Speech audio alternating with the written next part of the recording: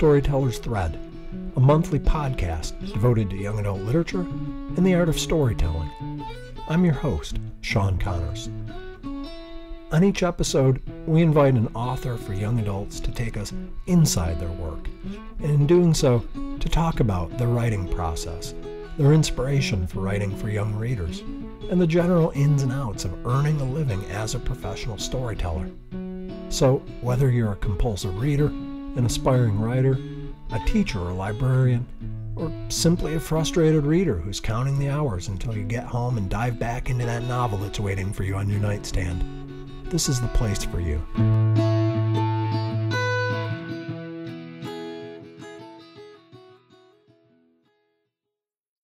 Hey, it's January 1st, 2020. Thanks for being here. And Happy New Year. And Happy New Decade, too, while I'm at it. Hope you had a festive holiday and found time to relax and do some things that you enjoy. As for myself, I spent quite a bit of time outdoors, going for long hikes with my faithful sidekick, Arthur Smalls, the black lab, and I even managed to put a dent in the stack of books that's been sitting on my desk for the past few months. Of course, I've also been busy podcasting, and I'm excited about the lineup of guests I'll be talking with in the year ahead.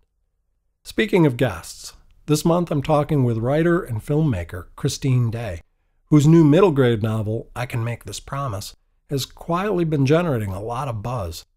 A member of the Upper Skagit tribe, Day grew up in Seattle, Washington. She holds a master's degree from the University of Washington, where she created a thesis on Coast Salish weaving traditions. Her first novel, I Can Make This Promise, was published in fall 2019 and was inspired by Day's own family history. The novel tells the story of Edie, a young girl who, in searching to uncover her family's secrets, also finds her own Native American identity.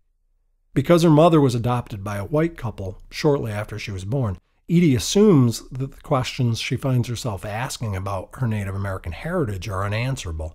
But when she discovers a box hidden in the attic, a box that contains letters signed Love Edith and photos of a woman who looks just like her, Edie sets out to uncover the truth about her mother's family's past.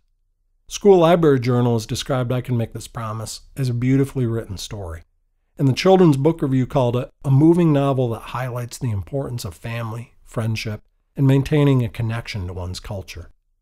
A review in Publishers Weekly was no less complimentary, noting that I Can Make This Promise considers historical truths about how Native Americans have been treated throughout U.S. history, particularly underlining family separations. Day's novel has been named a Charlotte Huck Award for Outstanding Fiction for Children 2020 Honor Book, and it was featured on NPR's Favorite Books of 2019. When we talked, Day had just returned, like literally, from a week long writer's retreat where she'd been working on her second novel, which will be available in 2021 from Heartdrum, an exciting new native focused imprint with HarperCollins. As you'll soon hear, we covered a range of topics in our time together ranging from Day's experience as a Native student who struggled to see any trace of her culture represented in her high school's curriculum, to the transformative role her experience in the University of Washington's graduate program in Indigenous research and documentary film production played in helping her to cultivate her voice as a storyteller, to the ongoing need for books for young readers that depict Native American characters in a broad range of contexts, including contemporary urban settings. I found Christine to be an absolutely delightful person. It was like talking with an old friend, and I learned a great deal from talking with her. I hope you enjoy our conversation.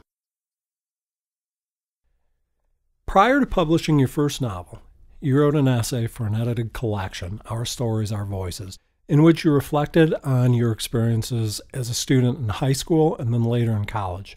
I'd like to talk about that essay if we could, because I think it provides a helpful framework for thinking about the issues you write about. Sure. You attended a suburban high school in the Seattle area, and in your essay, you recall the school's mascot, a Thunderbird, having appeared on the school's official crest.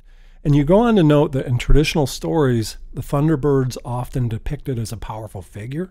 But in your recollection, you describe the icon on your school's crest as, I'm going to quote you, a frozen caricature, a stencil led silhouette deprived of movement and color. Mm. So, reading your essay, my sense was the way you set that image up, my sense was that you intend it to serve as a metaphor for your experiences in high school as a Native American student. Can you talk about how or why that's the case? Yeah, totally. I think that's a really good reading of that particular image because that really is what I was trying to convey with that.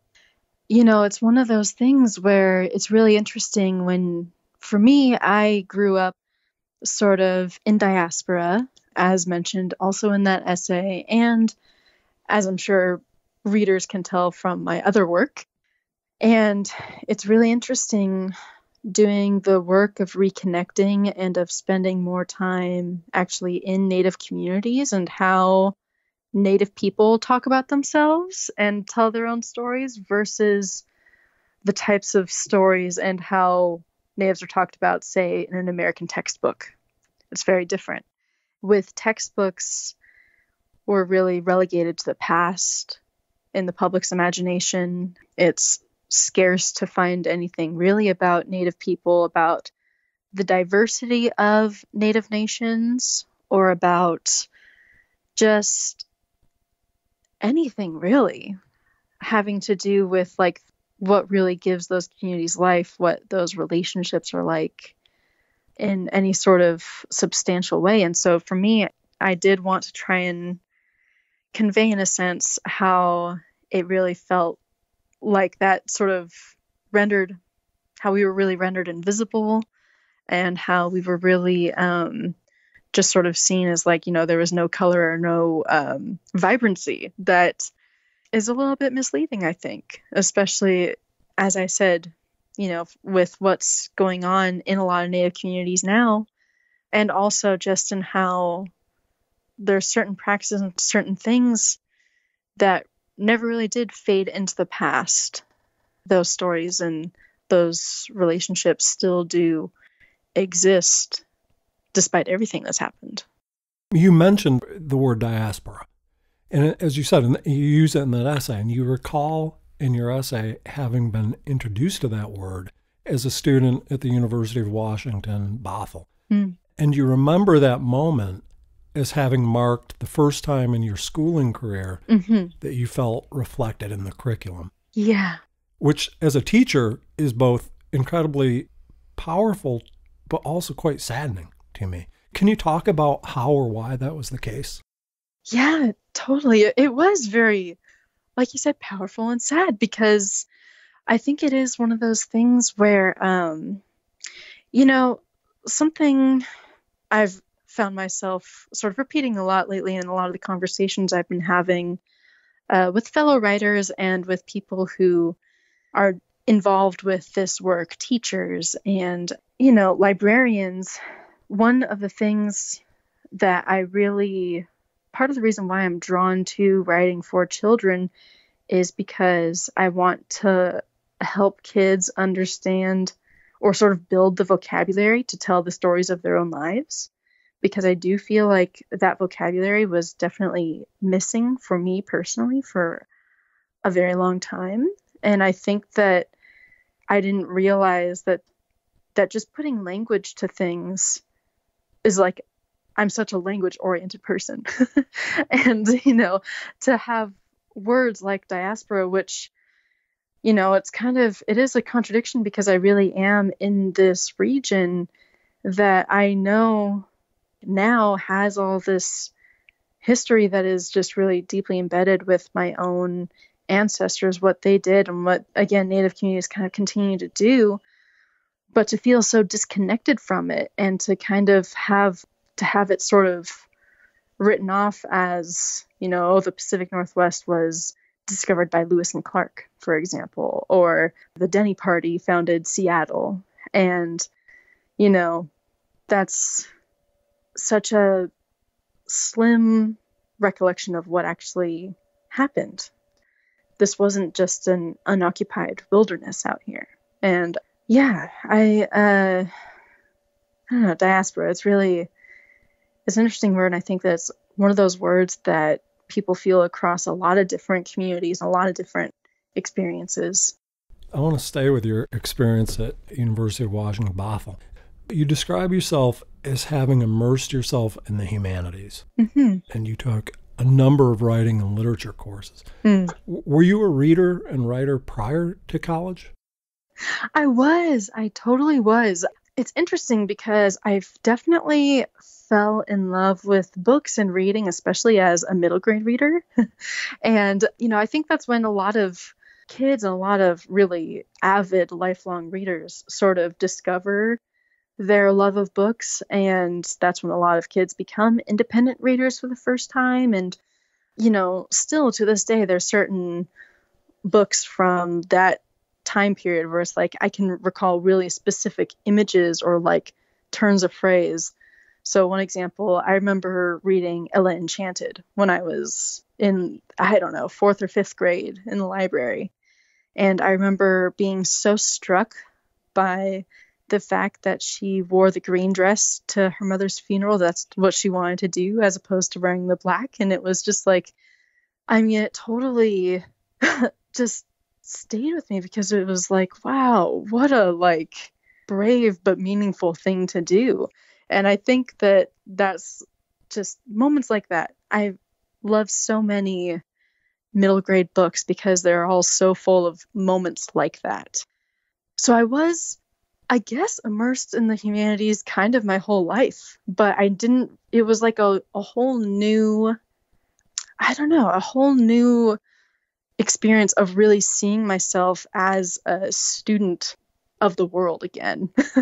Because i think that i kind of i had that when i was in like a middle grade reader and maybe sometimes with like certain books as a ya reader as well or even in certain moments in high school but i think that for a little while there in my adolescence i was just sort of having a you know probably some just mental health stuff that I kind of just tried to bury and didn't really address and you know personal losses in my life things like that that sort of drew me out of that sense of being immersed in the humanities of trying to find that sense of wonder in the world. And it wasn't until really I was a little bit older and had pulled myself out of some of those things that I was able to find it again in community college and University of Washington Bothell. Growing up, did you have access to books that featured native characters? No. You know, well, actually, there were a couple. So um, I had the first Strawberries by Joseph Bruchac, and I do remember reading that picture book a lot with my mom. Um, I know that Cynthia Leitich Smith was publishing around that time, but I don't remember her books ever being actually in my libraries in school. And I'm not sure why that was. Maybe maybe they were and they just weren't exposed to me. Actually, the first well, then there was like sort of maybe a little bit more problematic or uh, complicated romanticized versions of natives, right? In books like Walk Two Moons, I did. I grew up. I loved Walk Two Moons. I like read it over and over. And her name is supposedly comes from a tribe, but it's a tribe that doesn't exist or something. Uh, it was something I don't even remember exactly what it was, but I know that was one of those examples of like a more romanticized narrative about natives, and it was also just it didn't show again that sort of diversity or sort of reality. It's just this sort of a loose um, sort of mythologizing real people almost.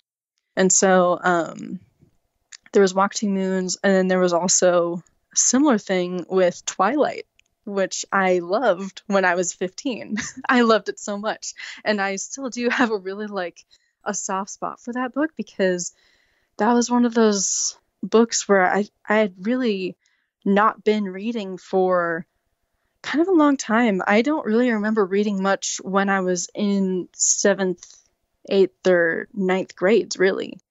I'm sure I was assigned books, but it was like the books that were assigned to me, I just didn't find as interesting, and I was really skimming them. And I thought that I just wasn't much of a reader anymore. But I think it was actually just that, you know, they're kind of the drier books that are seen as like classics that kind of the teachers just kind of have to teach them and the kids just have to read them and there wasn't a real love for it. And then twilight came out and it was this book that i I got it for Christmas when I was like 15 and I read it over the course of like a single day. I read it over and over. That's a love story there. it was. And it was so like I mean, I think it was especially interesting for me because, you know, I remember reading Bella's um her take on the Pacific Northwest and how green it was.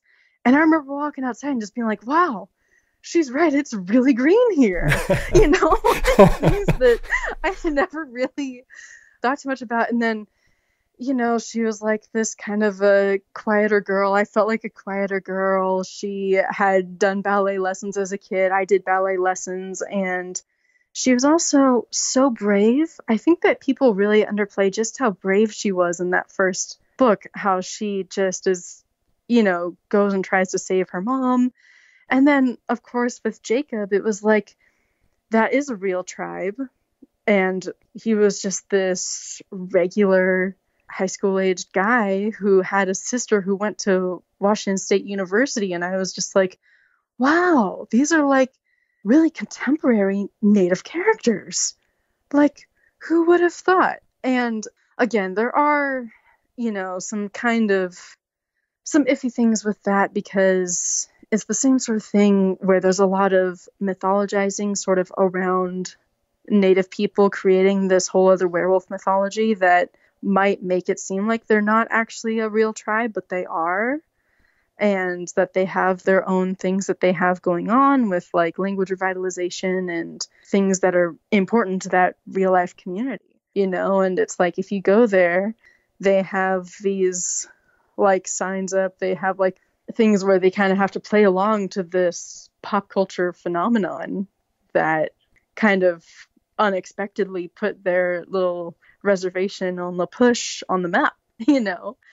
And then there's just all kinds of other things. But I also, on the other hand, I don't know, I find it so fascinating because one of my like personal readings of Twilight is that it's not a romance, it's a tragedy. Hmm. And also that the vampires are kind of a metaphor for colonizers because the native people are the ones who remember how dangerous they are and they want nothing to do with them.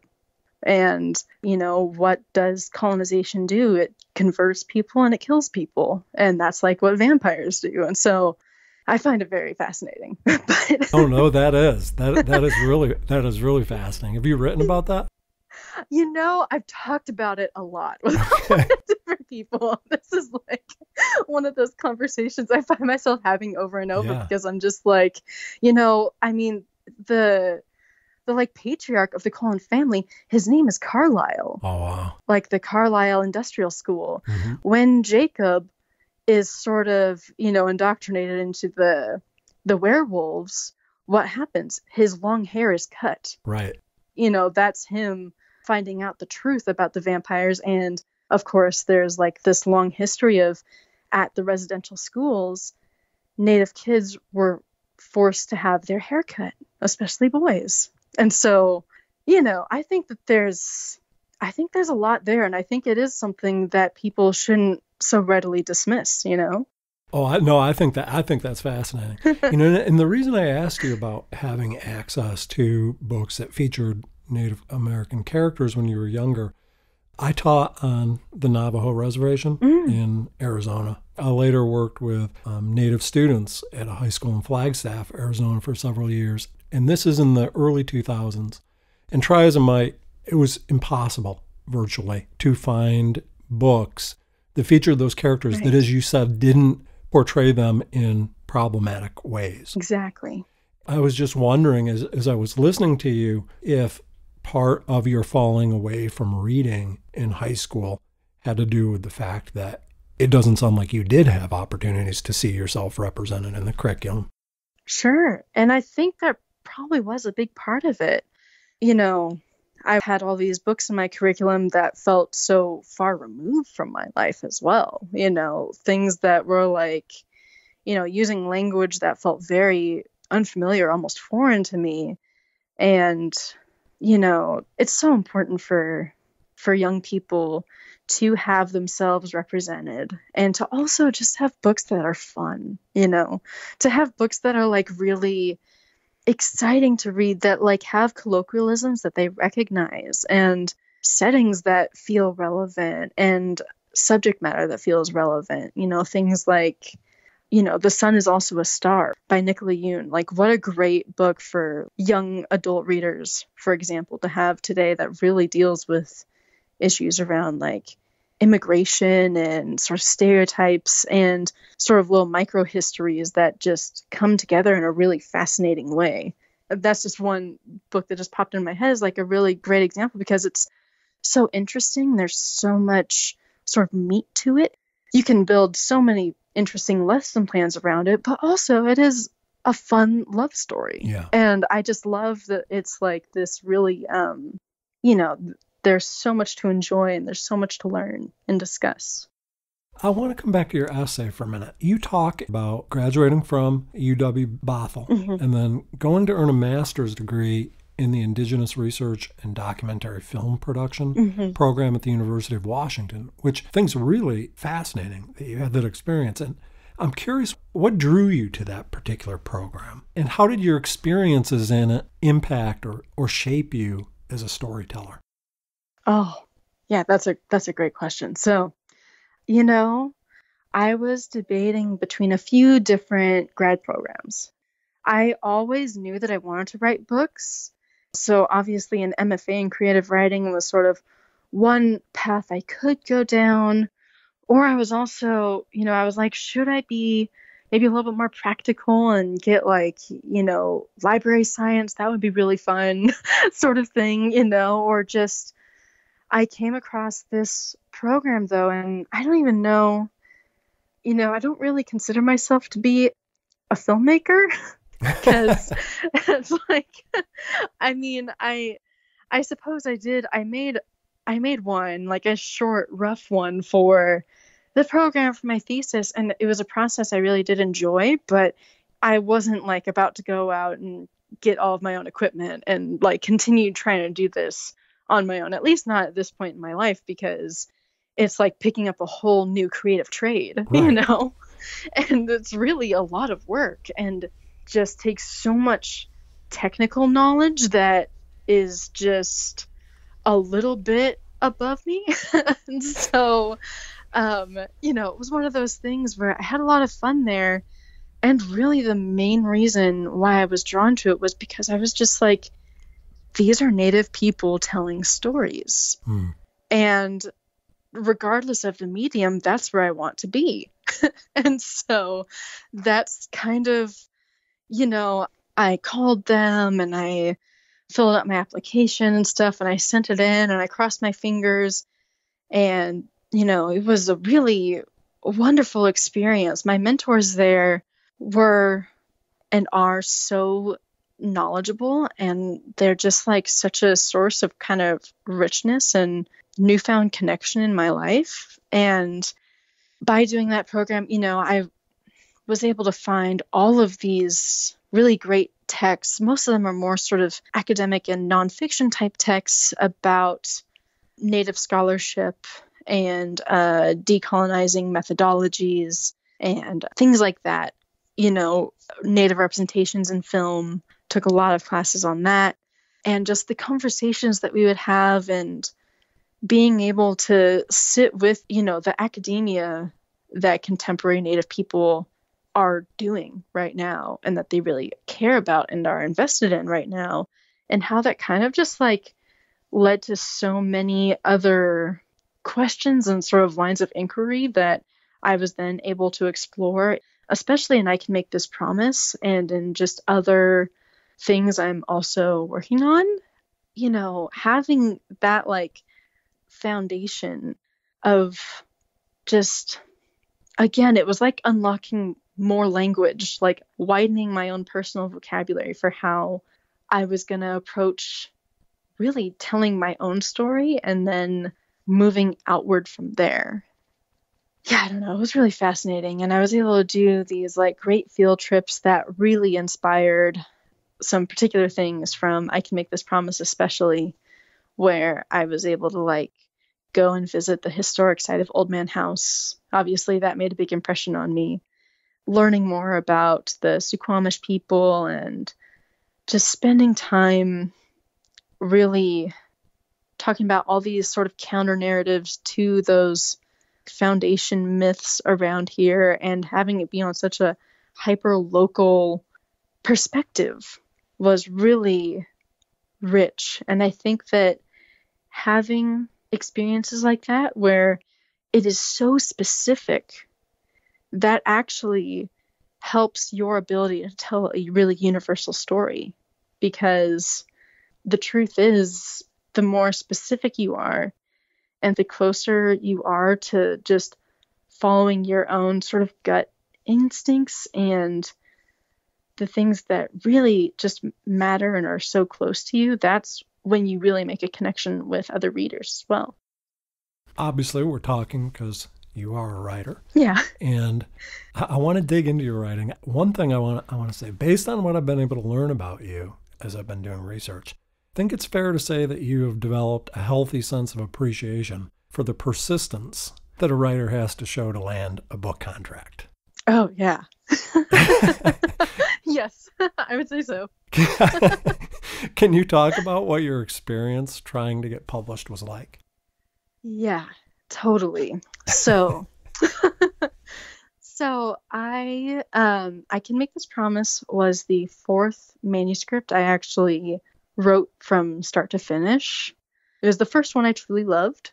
The first three I queried them all you know, I researched that whole process of what it sort of takes to get published traditionally because, you know, obviously with self publishing, that's a whole nother thing. And I've I've known people who have really done well for themselves doing that. But in order to do that, you have to be such an entrepreneur and you have to be so marketing savvy and really, you know, build a following and um, I don't know, solicit editors, like freelance editing, all that stuff, design the books, design the cover, like you have to do all of that on your own. And I had absolutely no interest in doing that. Like none. I like we said, I am a writer. That is what I do. Right, you right. know, I don't I am not like great with all the other stuff. But um so the first 3 I initially when I first started trying to get published, I thought for sure that I just wanted to write YA, actually. The first, the very, very first one was this horrible, supposedly dystopian YA. That wasn't even really dystopian. I'm not entirely sure what it was. It was strange. that's that's what it was. It was just a really odd book. And I remember, you know, I sent it far and wide and I was just so excited because I had finally finished something and I heard back from absolutely no one except for one agent who wrote back to me and said, I really like your sample pages, but I feel like your voice is more contemporary than dystopian. By any chance, are you working on anything else you could show me right now? And I was just like, oh, contemporary, but I was still on this like speculative kick. I don't know. So I wrote this, it was a contemporary story, but it was sort of a contemporary retelling of Wuthering Heights. Again, that's how I pitched it. That's what I thought I was kind of achieving, but it was once again very odd and like I, I don't know. I was taking a lot of gothic lit classes at the time and I thought I understood what I was doing, but I really did not. And, you know, I sent it back to her and I sent it out far and wide again and got a little bit more traction and more people were like, "Oh, this is an interesting concept and your sample pages are interesting." But then it all kind of fell apart after that. And I just fell out of love with both of those, just as I did with the next one where it was a um another ghost story had something to do with like a paranormal reality television crew that goes to this girl's house and I don't know, eh, whatever. I don't. All of those are are just shelved because they were great learning curves, And certainly there's a lot to be said about just finishing something and about writing 50,000 plus words. But, you know, I think that really my problem was that I wasn't actually trusting myself as a storyteller yet. Hmm. I was really just doing the speculative stuff. I mean, I, I really, there's so many speculative authors that I love, like Patrick Ness. I have followed his work very closely for many, many years. Uh, Tahereh Mafi, I love her work. In terms of retellings, I love like the Lunar Chronicles by Marissa Meyer. You know, I was kind of trying to channel these things that I had seen other people do really well and that I really enjoyed reading, but ultimately I was always kind of hanging back a little bit. Mm. I um I was just trying too hard to be so original and interesting and I was just following trends, you know, that I saw happening in the publishing world and thinking that I could like ride some wave. But really I hadn't dug too deep with any of those. I hadn't really let myself feel vulnerable Hmm. through the process of storytelling, and I wasn't sort of doing that thing you're supposed to do where you write for just an audience of one, right? Uh, who who was it that said that? I think it was Kurt Vonnegut said that you know he was always writing to an audience of of one, and I believe for him it was his sister, and that that's how again, going from the very specific, you are then really able to connect with people. And so, with those first three manuscripts that I wrote and fell out of love with, and tried something else, something weird and speculative and just totally random, really. Like, I didn't have a real vision for how I would sustain a career that way. You know, like, I didn't, wasn't seriously asking myself, do I want to like write books like this? You know, can I see myself doing this sort of thing again and again? I wasn't really. I think that with books like I Can Make This Promise, I can see myself just writing similar middle grade stories over and over. You know, I I love it. I love the sort of quieter coming of age stories. And I love getting really specific with the like histories and the geography and all of that stuff. And so it's like you know, that's really who I am. that's like what I find very interesting. And so, like, that's really where I should have started, but alas, you know, again, all a learning curve. So, I did those three manuscripts, and then I saw this flyer online. It was Penguin Random House. They had put out this call for submissions from unpublished, diverse writers who were going to write something, some contemporary middle grade fiction in honor of Roll of Thunder, Hear My Cry. And I saw that and I was just struck by it. I was like, middle grade. And again, I realized that that was where I really fell in love with books and I started having these like recollections of, you know, the Ella Enchanted wearing the green dress and Coraline, which was the first book that actually gave me nightmares, and things like Holes, that song in Holes, and the whole backstory with Kissing Kate Barlow, and all of these books from that time in my life when I was really becoming such an avid reader just sort of came back to me and I was like, well, why don't I do something like that? and so after I saw that call for submissions, I sat and I was like, okay, well, if I were to write a contemporary middle grade book and it's diverse and it's from my perspective, which by the way was something I had not done yet. None of my characters were like really specific Coast Salish native characters, which is another thing I find very interesting. They were all just like I don't even remember. They I mean they were so vague to me, those characters. So I sat with this and at that time I had just recently found out that I was going to be doing the film program at UW, and I had already been sort of brainstorming, well, what would be some interesting things for me to research while I'm there? What would be some interesting things to film? And I was kind of considering, you know, potentially looking into my own personal history. And that was something I had actually discussed with one of my mentors when we first met. And he was like, Oh, yeah, you're coming doing this program. And you know, your backstory would be a really interesting thing to, you know, a starting point just in that first sort of conversation we had. And I was thinking about that and I was just like, you know, what if I were to do something inspired by my family's history, but to fictionalize it so that I don't feel quite so vulnerable, but to also just, you know, I had this image of a young girl going up and finding this box in the attic and then from there, I just I wrote this whole outline for this book.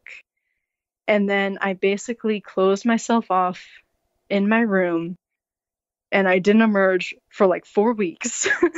and then I wrote the whole first draft. I mean, it was rough and it needed a lot of work. But after I wrote that very first draft of what would become I Can Make This Promise, I just had this resounding sense of this is it. You know, this is going to be my first book. Well, let's let's talk about I can make this promise.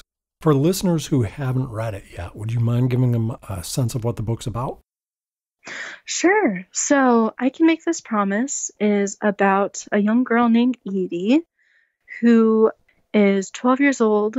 And like I said, she basically finds a box in the attic with her friends, filled with these letters and photographs from a woman who looks a lot like her and who also shares her same first name.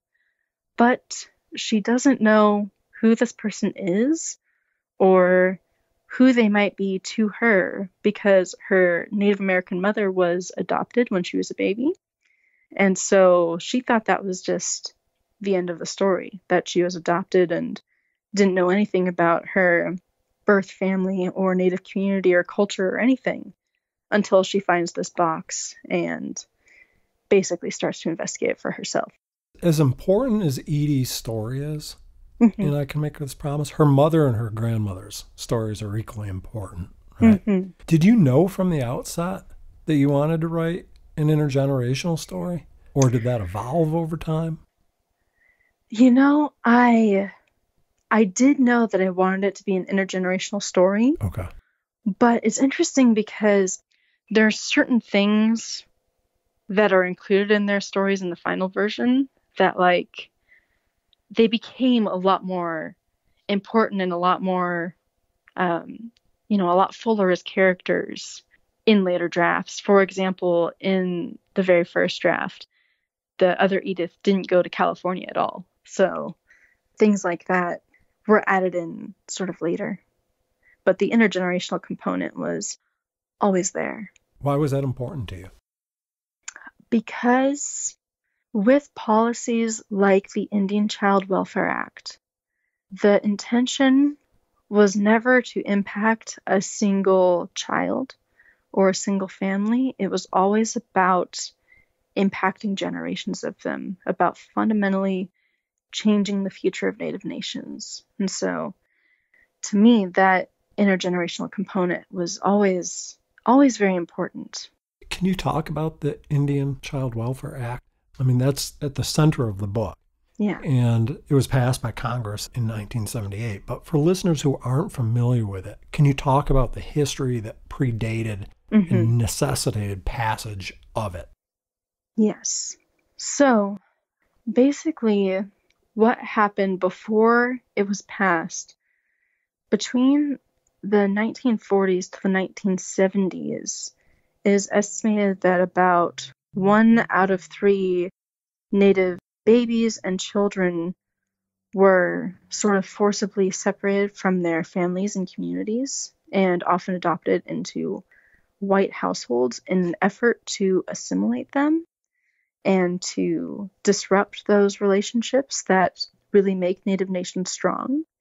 And this was all sort of an assimilation project, much like the residential schools were that sort of predated them. And it was eventually stopped by Congress because I guess they eventually realized that this is kind of a messed up thing to do. so, but unbelievably, not until 1978. Like yes. that's the thing. As I said, working with Native students in Arizona, I had met grandparents who had been affected by the practices you're describing, but I had no idea that it was perpetuated into the 1970s. Yes. reading that in your book was astounding to me. Right. I think a lot of people don't realize how recent it was. And you want to hear another interesting little tidbit? Hmm. My mom had never heard of it. Really? She had no idea that this was such a widespread thing until I came along and started researching this stuff. Wow.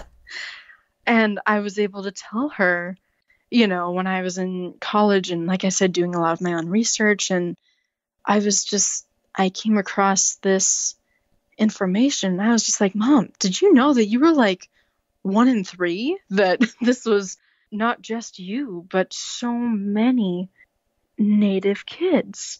And she had no idea. But I guess that's also another part of it, right? Is to make people feel very isolated Hmm. and to make them think that they are sort of on their own, which is just another aspect of its insidiousness. You've intimated that I can make this promise is informed by your own family's history. And as I was I was reading the book, I was thinking I would have to imagine that writing a story that's so profoundly personal would be difficult. W- What kinds of challenges, if any, maybe you didn't, but what kinds of challenges did writing such a personal story pose for you and, and how did you address them? Sure. So I would say that very first draft of it was just pure catharsis. But then going through the revisions process and really, like, after that first sort of buzzing high of, like, wow, this is going to be it. This is the story I actually really love. Then from there, going and just being like, wow, this is actually going to be very vulnerable. and like other people are going to read this. And, you know, I think for one thing, one of the challenges was the fact that, as we've discussed, native kidlit and YA fiction is so very limited. There's really not very many stories out there that show native characters in a contemporary context or an urban context or really delve into these histories and family histories that for so many people the trauma can still be so fresh. And maybe you experienced this with some of the native families you worked with who maybe you know you know it happened but they don't really talk about it sort of thing Yeah. I think that those silences are another thing that to then bring it all out, know it's going to be printed in a book, can be a little bit intimidating. And um, knowing that like the stakes are just a little bit higher for someone writing books that fill a gap this big.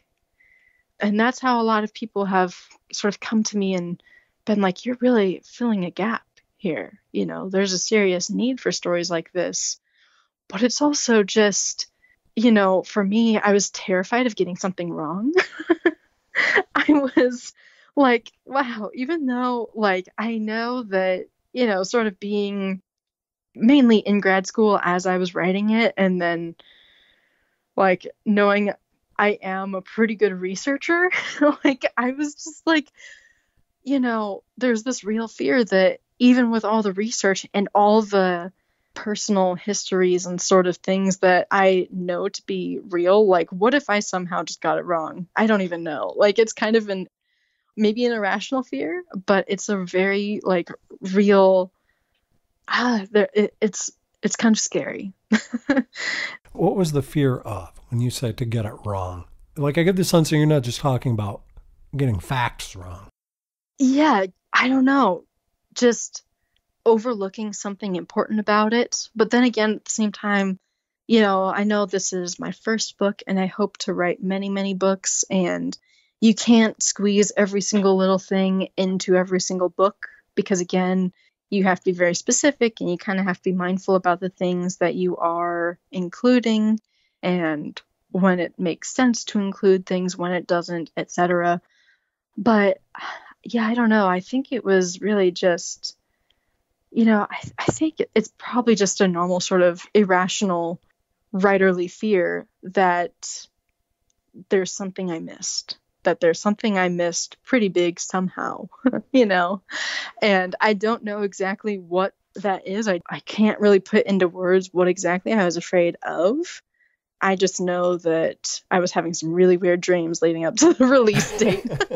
and that, like, and, you know, it's just one of those things where, again, just knowing that it's kind of a vulnerable place and that there's just, I don't know, it's just a really, um, it's a sensitive subject. And you want to be really mindful with sensitive subjects and just do the best job you can. And I hope I did that.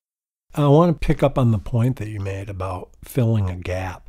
Yeah. As I was preparing for a conversation, I came across information by the Cooperative Children's Book Center mm-hmm. at the University of Wisconsin Madison mm-hmm. that suggested that of the 3,134 children's books published in 2018, 50% featured white characters. Mm-hmm. And that percentage was actually down from 2015 when 73% of the children's books published featured white characters. Mm. And although representations of other racial and ethnic groups made slight gains in that three year period, books featuring Native characters continue to account for approximately 1% of the whole. Wow. So this might not be a fair question because, you know, recognizing this problem is so vast and, and complex. But mm. I'm curious from your perspective, what can be done, do you think, to increase mm. representations of indigenous protagonists in books for young people. I mean, that's obviously a tremendous oversight. It is. You're absolutely right that it is. And, you know, obviously, I am just one person and I'm not on that sort of side of publishing, but I know that my editor, Rosemary Brosnan, and Cynthia Leitich Smith, who is an incredible author and also just an incredible human being. They both are. You know, they're launching a native focused imprint called Heartdrum mm. in 2021 with HarperCollins. Wow, that's exciting. Yeah, it's very exciting. My second book is going to be one of their one of the first in their lineup. So, oh, yay. Wow, congratulations. Thank you. I'm I'm very excited about it and I'm really excited with their vision for it because they are really going to focus on contemporary stories and diverse stories and so that's one like their sort of vision for this imprint is something i would recommend other publishers and other just people in publishing wherever they are in that realm you know if they're one of the ones sort of doing acquisitions or marketing whatever their role is if they want to be part of the solution turn to folks like Rosemary and Cynthia, who are really, you know, using their positions of influence to address these gaps. I'm very excited to see what other books come out with that imprint because I think it's just going to be incredible. And they also have a, um, a middle grade powwow anthology, which I will be contributing to as well. So I'm in like two of their sort of opening roster positions. Um, I'm really excited about it. that is really exciting. Yes. I'm glad you're going to have that opportunity. Yeah, me too. Have you had the opportunity to talk with students who claim Indigenous identities about your book? I have. How have you found they tended to receive it?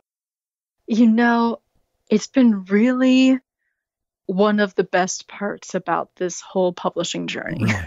because, you know, again, with the fear and the reality that you know you can do the best job you can but then it goes out into the world and it doesn't really belong to me anymore that whole story that i had in my head and that lived on my laptop kids are reading it and native kids are reading it, non native kids are reading it. I went and did an event at the Suquamish Elementary School, actually, and uh, Edie is Duwamish and Suquamish. And so there's also a scene uh, in the first chapter of the book where she is on the Tulalip Reservation. And this little girl came running up to me after my presentation to proudly tell me that she is Suquamish and Tulalip. And, you know, I think it was it was just this really cool moment where she was just so excited and she had me sign her folder, you know, and it was very sweet. and so that was really awesome. It was it was just incredible to know that this young person, she was maybe in fourth or fifth grade, felt really recognized by me and by the fact that it was so close to her, you know. So that's one example. I also I met a Suquamish teacher when I went to NCTE in Baltimore this past November. And this and this young woman runs up to me and she's just like, "So I heard that you wrote a book with a Suquamish character." And I was just like, "That's that's me," you know. And she was just like, "I'm Suquamish and I am just you know, like she was just like over the moon, you know, and was so excited to read it. And it was like, what are the chances these two Coast Salish women in Baltimore, like all the way across the country, you know? And she actually teaches in in Oregon, so it was like just just this incredible sort of full circle moment as well. And also, there's this blog called Children of the Glades it is a group of Native kids and teens who read and review books, especially books with Native content. And this 13 year old girl named Ashley wrote a really beautiful review of I Can Make This Promise. And, you know, they tagged me on Twitter and wanted to show me that this 13 year old girl felt similarly really uh, represented and that there was just like certain things about the book that she picked up on that I haven't even seen, you know, professional trade reviewers pick up on. So that was really cool. And um yeah, that's definitely been one of the best parts. And it's also been really rewarding to like connect with non-native kids who have really loved the book as well and they love Edie because they too are artists or they have gone on the ferries in the Pacific Northwest. Like she goes on a ferry with her family and you know, they are all very curious about the dog too.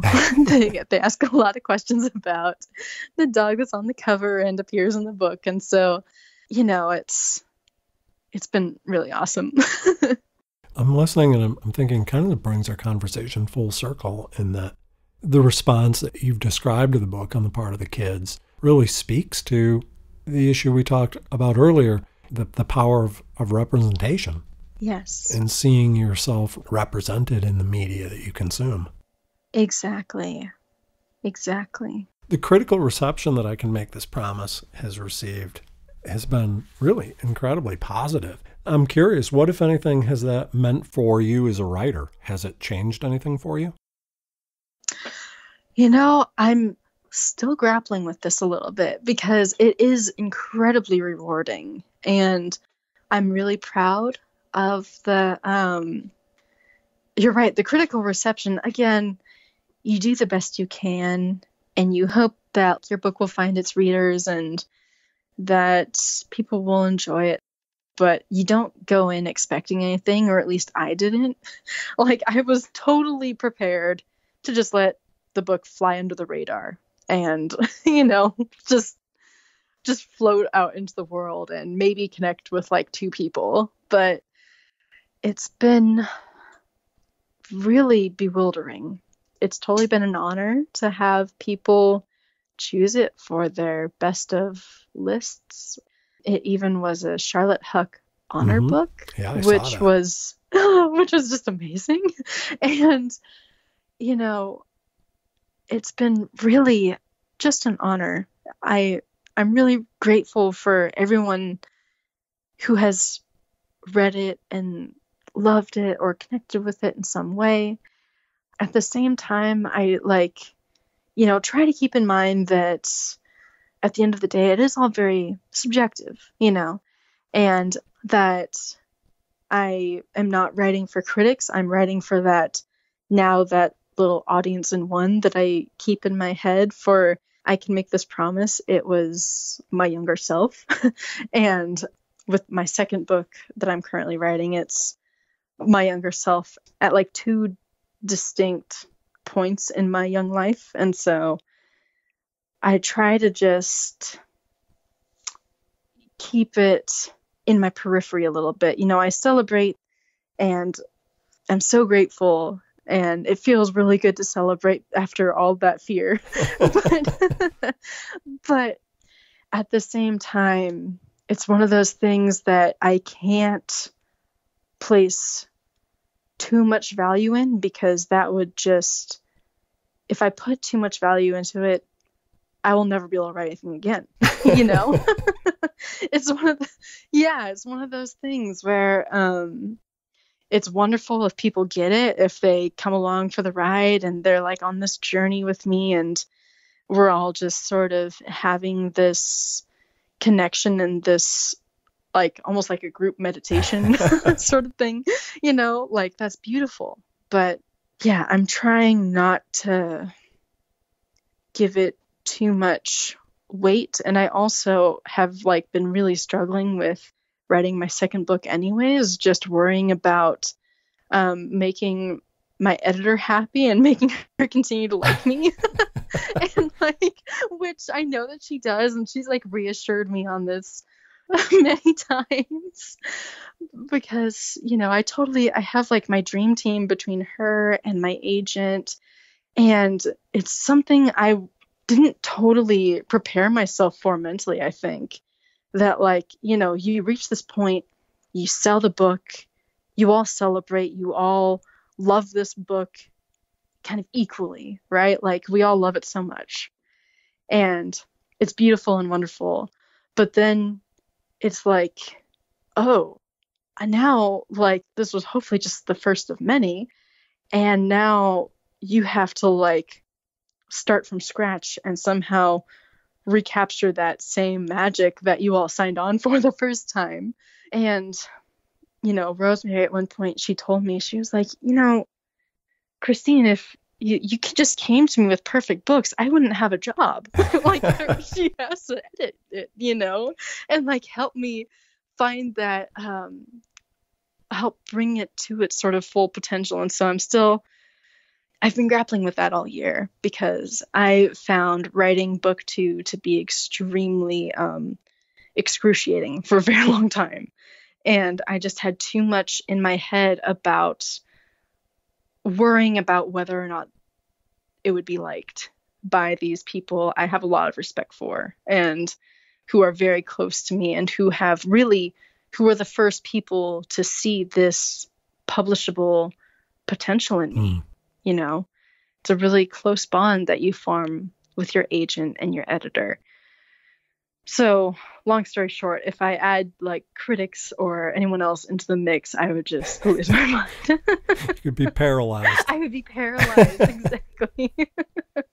So so is the expectation for your second book is that is the expectation that'll come out in 2020 2021 2021 uh, it's winter 2021 release yes. It was originally going to be a fall 2020 release, but then Rosemary told me about the Heartdrum imprint and basically gave me the option. She was like, Well, we could have you be fall 2020 season with Harper Children's, or you could be a part of our inaugural Heartdrum titles. And it was a pretty obvious choice for me. And honestly, having a few extra months to work through all this just the jumble in my head was really nice. So, well, that's exciting. I can't wait to see it. Ah, thank you. And thank you so much for taking time to talk with me. I, I really appreciate it. And I just have so much admiration for your book. Thank you. And as I said, I'm excited to see what you continue to do. Thank you so much. That really means a lot to me, Sean. That's our show for this month. Thank you for being here. If you're looking for something to keep you occupied in the winter months ahead, you can find Christine's new novel, I Can Make This Promise, in bookstores now. I look forward to seeing you back here next month when we'll continue to talk about the craft of storytelling. Till then, happy reading.